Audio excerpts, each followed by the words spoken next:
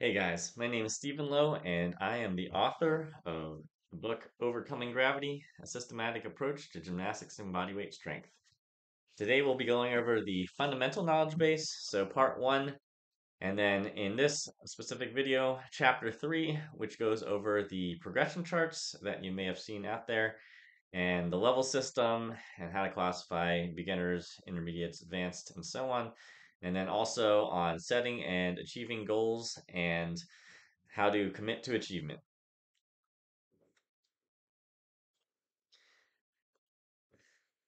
All right, so the progression charts in Overcoming Gravity were mainly based off of the Federation International of Gymnastics, in, in short FIG, uh, Men's Artistic Gymnastics, in short MAG, uh, and the Code of Points, uh, the COP for the 2008 to 2012 quadrennium.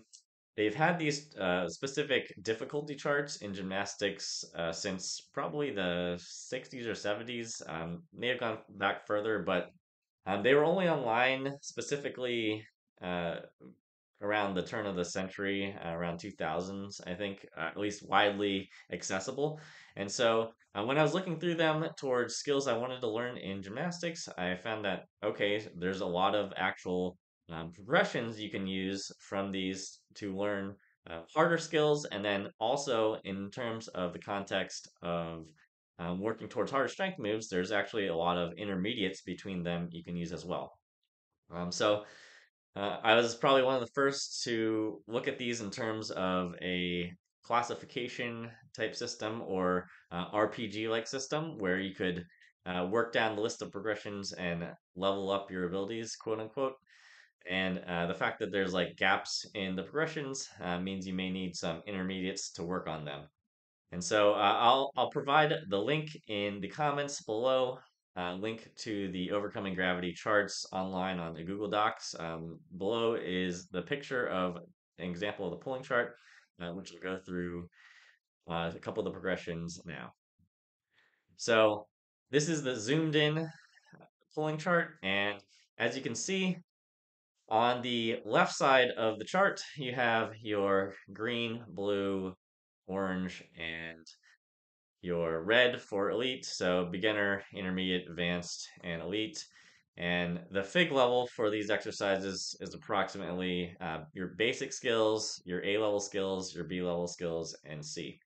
So those of you who are familiar with gymnastics, you'll know that the difficulty rating system actually goes up past um, C to D, E, and then in the 2010s plus, they've gone to even greater scaling. So now they're up to um, from E, F, G, and I think they're up to maybe I or J skills. So there's uh, a lot of difficulty increase beyond just uh, the basic skills to C level skills. But um, for most of us who are, are kind of working on getting stronger with the common uh, bodyweight progressions, I wanted to just make them make sure that it's more applicable to the your common person uh, rather than gymnastics who are training, you know, 10, 15, 20 years for the strength movements. And also, they probably have some genetics and other uh, quantif- unquantifiable factors that get them towards elite level strength compared to the rest of us. Um, so that's why um, things are classified mainly up to C level. I figure if you're working uh, C level skills, which are mainly like your very difficult things like planche on the rings, or even harder with like Maltese, where you're in uh, kind of the upside down Y position on rings, holding yourself flat.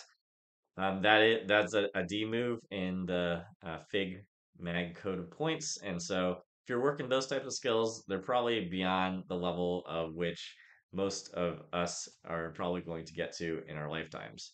Um, but as you can see uh, on the chart I have here on the screen, we have your different columns and you can see uh, one, two, three, and um, the book page number on where the specific progressions for these are. So um, the three I wanted to look at were the back lever, the front lever, and the front lever rows. And as you can see with the back lever, there's a lot of basic skills.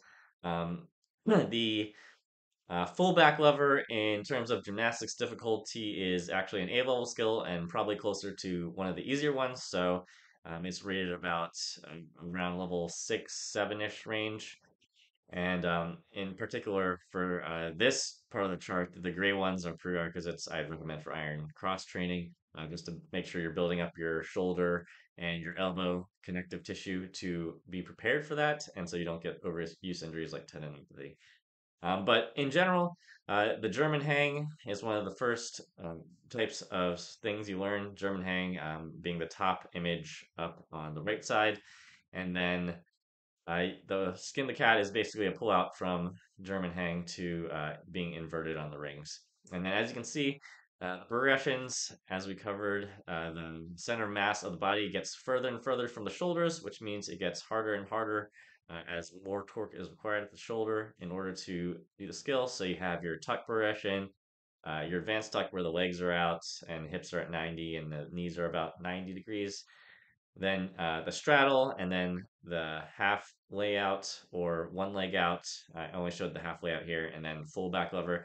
Um, there are some harder progressions for those, like uh, the back lever pullout. So you go from back lever and pull yourself up to inverted hang. So as you're doing a concentric movement rather than an isometric, it's harder than that. And then you can even go from the um, German hang all the way, pull straight body up to inverted hang. Um, so there are harder variations of these as you get stronger. Um, as you can see, um, generally most people acquire the strength to get front lever after back lever because back lever is a bit easier as long as you're practicing both at the same time. Um, so that's one thing to keep in mind with the charts uh, is that if you're practicing each of them at the same time, then some are going to be harder than others. So a, a lot of people you see in getting into calisthenics um, may have a climbing background or like lifting background and they'll get front lever first but that's because uh, there's a lot of transference from some particular exercises to the front lever um, compared to back lever, which is a more awkward position. But if you had been training them from the beginning, uh, back lever is actually easier than front lever because the uh, the lats and chest are at a bit better leverage uh, for the specific specific movement, and so they're easier if you had the same amount of practice with both. Um, and as you can see, uh, with the front lever, with the hands in front of you, holding yourself out flat, um, the row movement, where you pull and try to get the bar or rings to your chest or hips area, is going to be harder than the actual hold as well, since it's a concentric movement. So that's the charts, and then I'll explain a little bit more on the next page. Um, so on this slide, uh, basically, as I explained before, uh, we have your beginner, intermediate, advanced, and elite. And so um, in general, uh, beginner range is a bit broader. Um, as you can see, there's five squares as opposed to four for intermediate, advanced, and then three for elite. Um, what I did there was I tried to make sure that um, since most gains come quicker in the beginning as a beginner, you're going to be able to progress a bit faster. And so uh, when you see that in terms of the charts, uh, generally speaking, most people will be able to progress faster in the beginning. So that's why there is a specific larger uh, beginner size, and it doesn't correlate specifically with the basic uh, A, B, and C skills. Um, additionally, the charts were made for your general average male, so about 5'9, maybe plus or minus an inch or two, and maybe about 150 to 160 pounds, plus or minus about 10 pounds. Um, so for metric, you guys can convert that. I think it's like 175 centimeters and maybe 70 kilograms or so, uh, plus or minus a few kilograms.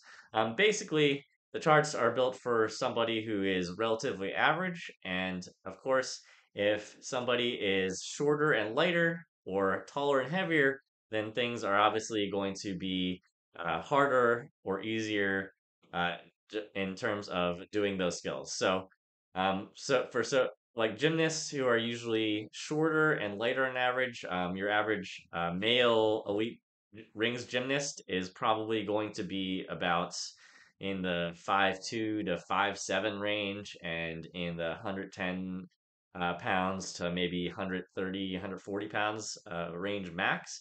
And so, obviously, if you're smaller and shorter, you're going to have a better strength to body weight ratio compared to somebody who is taller. So, um, if you are taller and heavier than the normal, it's likely that you're going to be progressing slower, and so that should not be a surprise. Um, a lot of people are confused about the charts in terms of like how fast they're progressing, but um, if you are taller and heavier, it, you will progress slower, and things may be harder for you than somebody who is uh, shorter and lighter.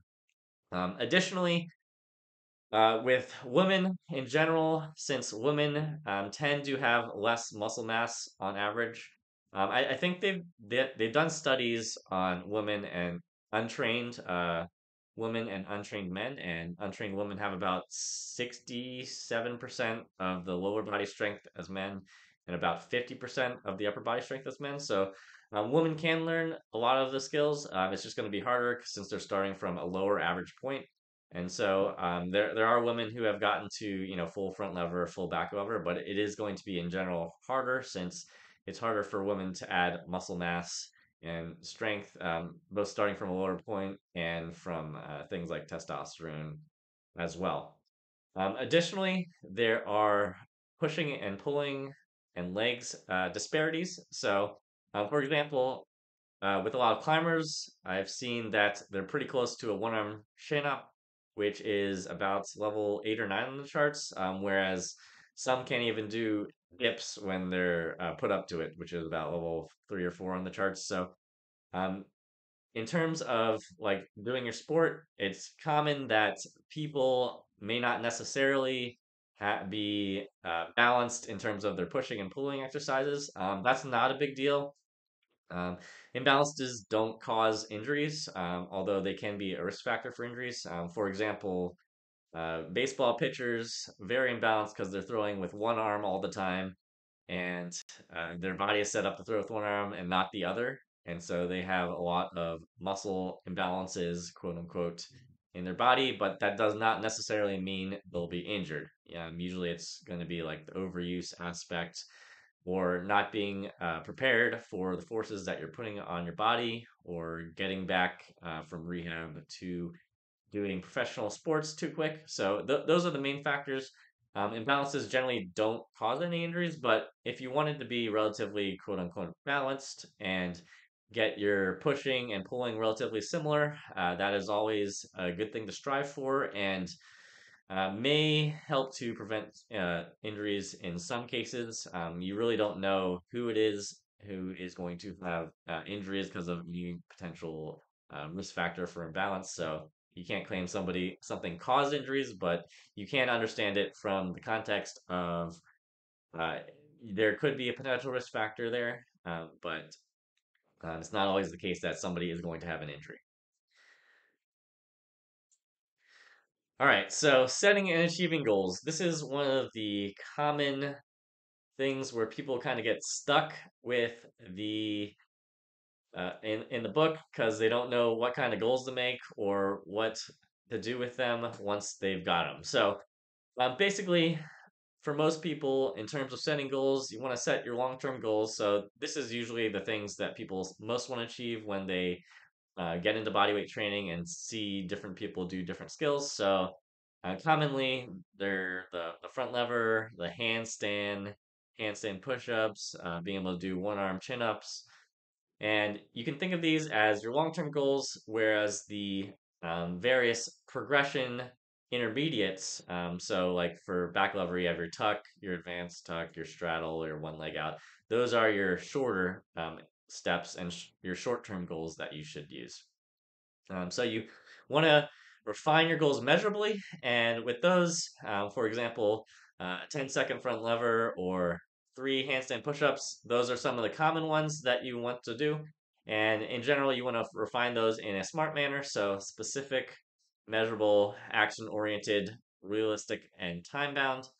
Um, so, for like front lever, you could say specifically and measurably you want to get a, about a 10 second front lever and you're going to break it into the specific progressions to work on them and then uh, realistic and time bound um, generally you can progress through some of the uh, intermediates towards front lever usually within uh, a cycle so six a few weeks uh, to a few months or uh, several cycles, uh, usually uh, one to three cycles you, you, can use to progress through the intermediates to work towards that. So Um, you're gonna break them into the smaller goals and um, progress them up over time until you get to your main goal.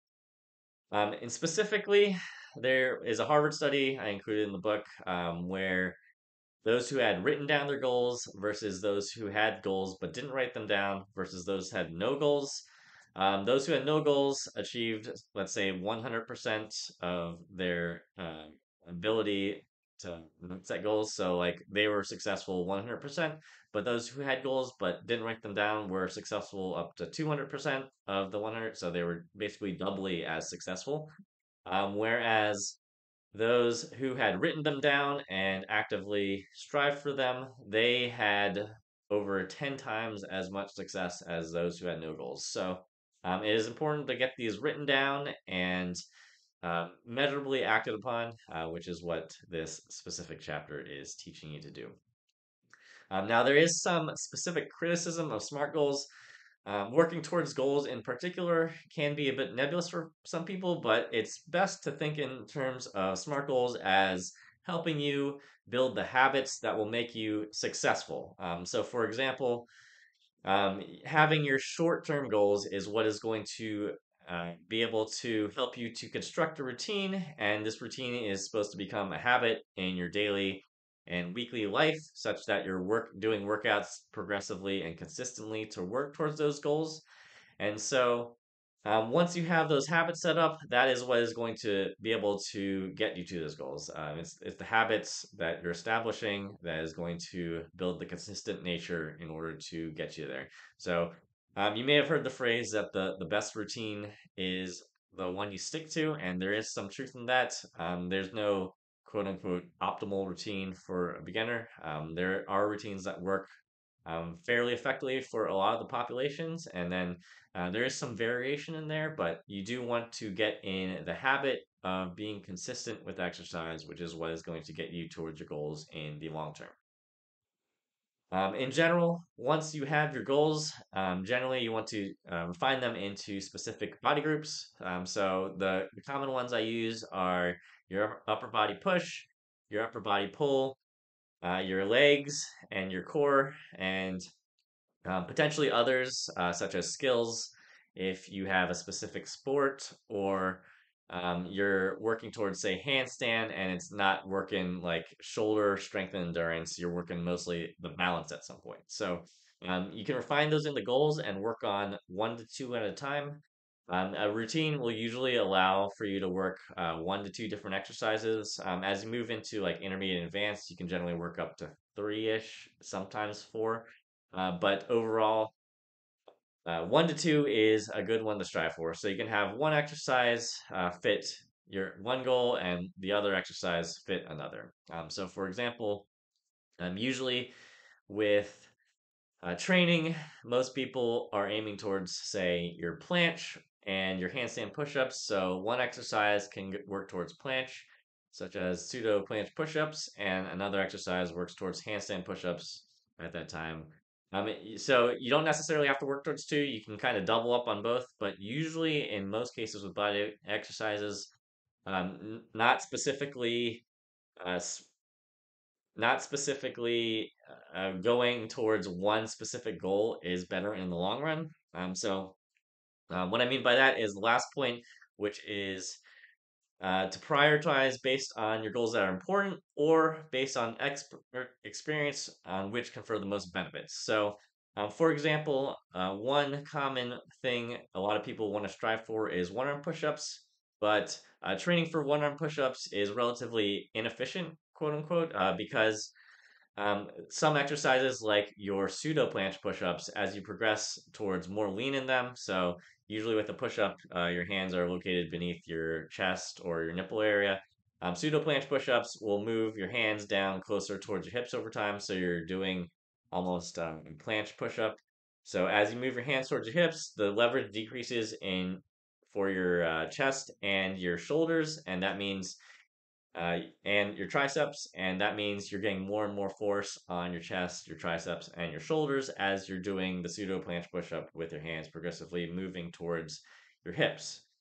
And so the pseudo planche push-up in particular is very good at uh, gaining strength for planche, but it's also very good at gaining strength for one-arm push-ups as well. So um, those who train the pseudo planche push-up to where their hands are above their hips, most of them can just try a one-arm push-up in a straddle or even straight body position and get it without practicing. So that is one of the um, one of the I got one arm push up basically from training planche without having actually trained one arm push up. Um, so there are some overlap between uh, skills like that where some have better transference from um, training them to other skills than others. Um, so some of the common ones that are very beneficial to other ones are um, the one arm chin up progression um, benefits front lever and back lever a lot.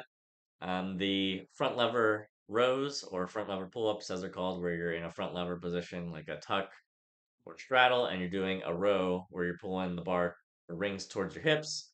Uh, that is a good one that transfers over pretty well uh, from front lever, not just good for front lever, but also good for uh, things like one arm rows and also can help out uh, your one arm chins. Uh, the um, plant pseudo planche push-ups are a common one that transfers over well to one arm push-ups and then uh, depending on your goals uh, dips and handstand push-ups are usually the one or two that you tend to go towards um, i tend to recommend uh, starting off with dips for most beginners and then as you get to level four five six you can move into the handstand progression. Um, the reason for that is not because uh, handstand push-up progression is like super good to start at the beginning but most people they're also going to be training uh, handstands as a skill work or uh, to gain balance for their handstands against the wall in the routine. And so you already do have some handstand work. Uh, you don't necessarily need both the handstand work and the handstand push up work at the same time. And you can build some basic strength with the dips, which is often considered um, one of the squats of the upper body. Um, so, um, generally speaking, that's uh, the main points for setting and achieving goals, you want to break them down into, or you want to write down your goals first of all, in terms of uh, what you want to be able to do in the future, then kind of categorize them into the upper body push, the upper body pull, your legs, your core, and your skill, and then use that framework in order to uh, build your routine in future. Um, so we're going to end here and go into the next part of the series and uh, the next video.